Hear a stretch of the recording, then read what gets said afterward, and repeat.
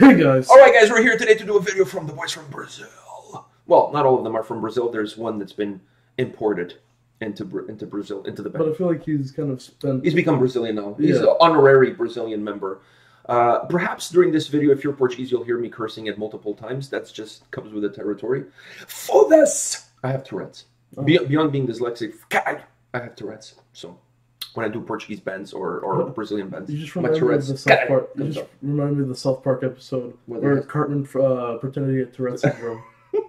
Your mother has Tourette's. That shit. Well, not really, but she curses a lot, Oh, so yeah, yeah. so therefore I think she has Tourette's. All right, so uh, which pisses her off even more. Then she curses even more. So it's, you know me. I, It's like a, it's like a, like a cycle. yeah, I like to insert knife and twist.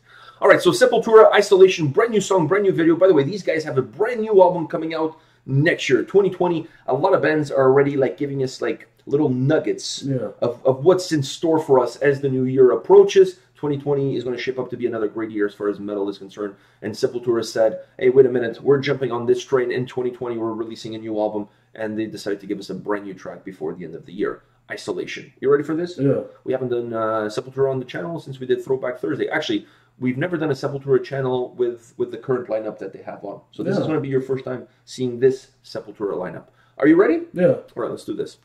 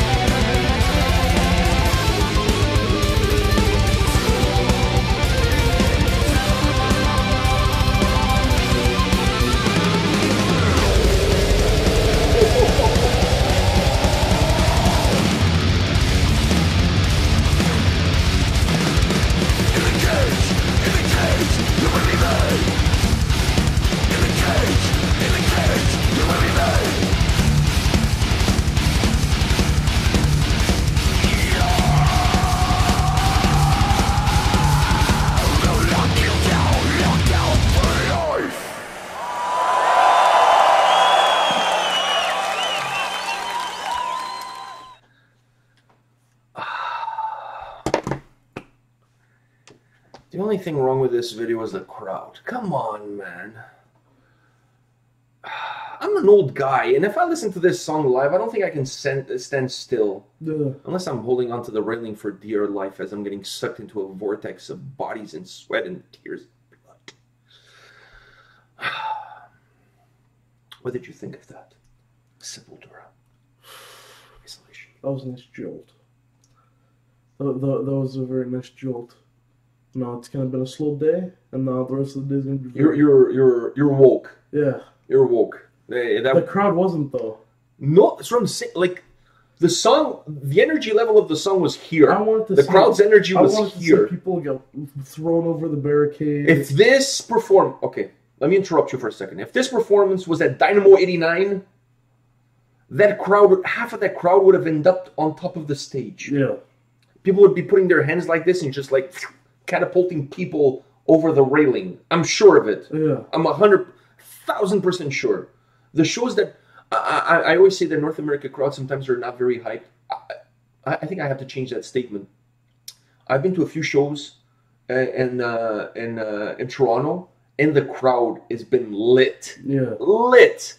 And I think a lot of it obviously has to do with with the age limit, if the show is all ages or not, and obviously Usually, if the show's all ages, it's even worse, right? Yeah. But uh, I've been to, uh, for example, Amon Amarth. I was expecting it to be really lit, and it wasn't as bad as I thought it would be. Oh, it's because you were in the front. And you Maybe because I was in the front. I I was, I was like holding onto your, Yeah, onto yeah, your maybe, hoodie maybe. and getting sucked in. I know, but I, anyways,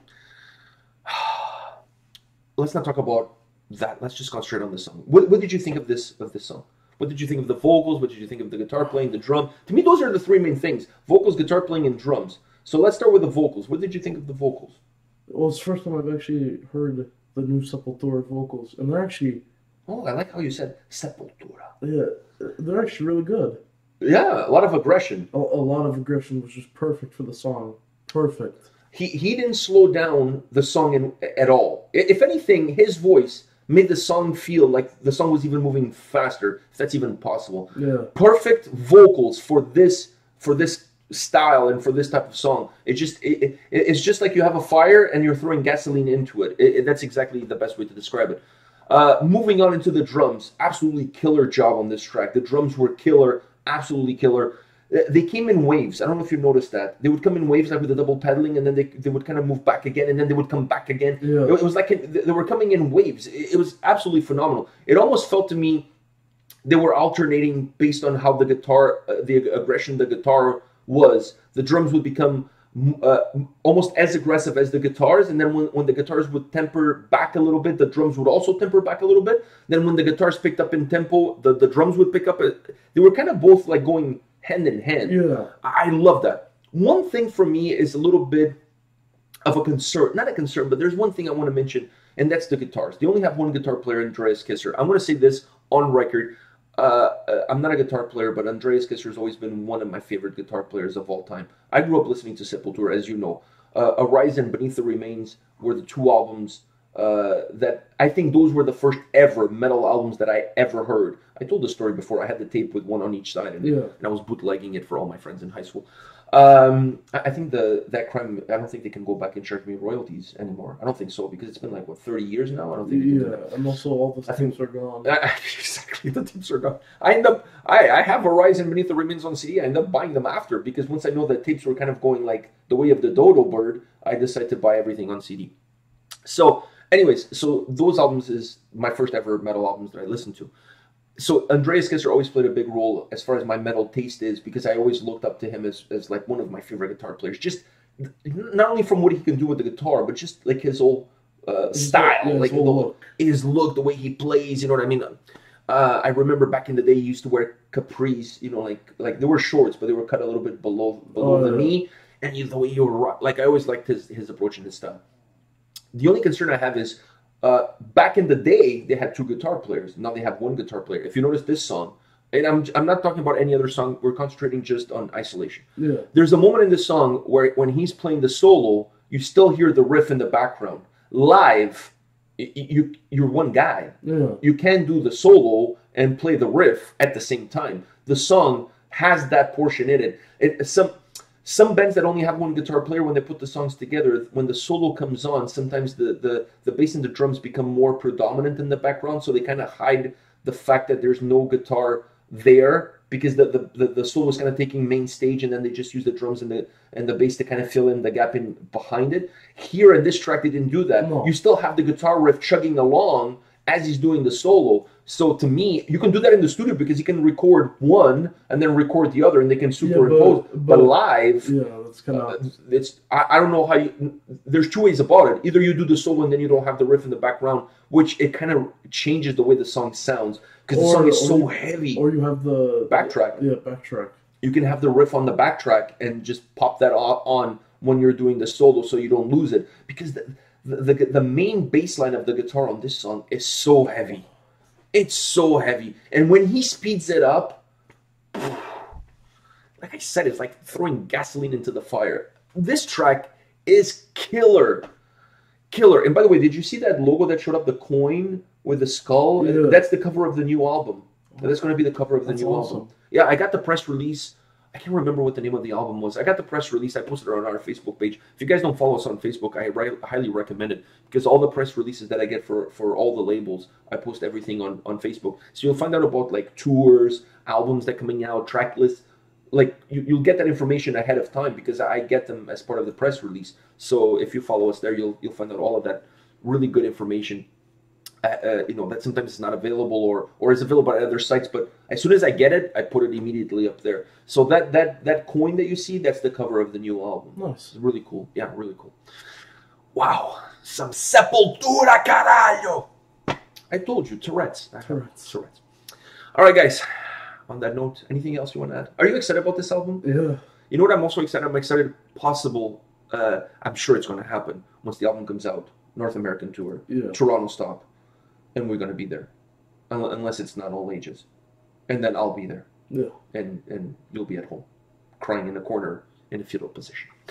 All right, come back tomorrow. We'll have more videos for you. See you guys. See ya.